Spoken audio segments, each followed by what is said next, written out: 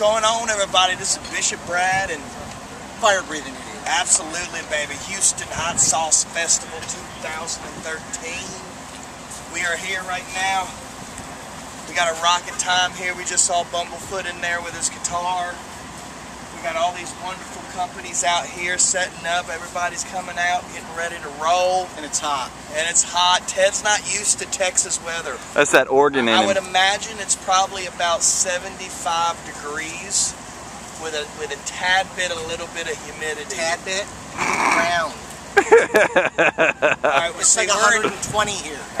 I'm sweating under my fingernails. Your forehead is condensation. I got fog going here. what we're going to be doing today, baby, we're going to be going to these booths, meeting these companies, probably doing a review right there in front of you with these booths going on. This is going to be a fun day. We're going to get lots of footage of me, Brandon, Ted. We're going to have a good time. We've only got two days to soak up all this love, so we're going to do it as much as we can. Ted just got done eating 85, sampling 85 hot sauces.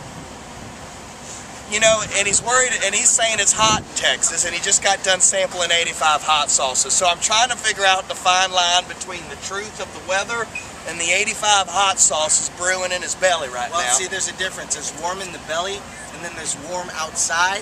And this is climate nobody should have to live in. This is like, this is hey, punishment. hey, hey, feel that when it's 100 and plus humidity. Hey, all you viewers, you come to Oregon, we'll show you what nice weather is. Banging it bang! This ain't nice. Well, this is Bishop Brad, baby, coming to y'all for y'all's intro into the festival. Y'all gonna get a lot out of us today. We'll see y'all on the next video, baby. And like always, let's spice it up. Banging it bang. Peace.